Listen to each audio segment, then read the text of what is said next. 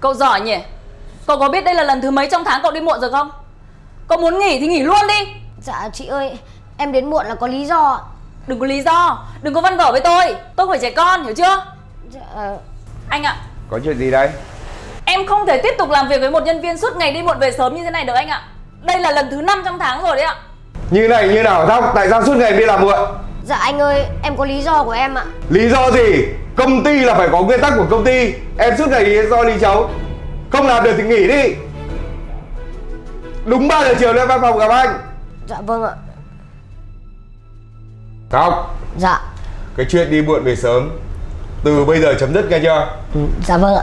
Em mang gói hàng này giao cho khách hàng ở Nguyễn Khuyến. Dạ. Trước khi giao em kiểm tra thật kỹ. Đóng gói cẩn thận cho anh. Dạ em đi luôn ạ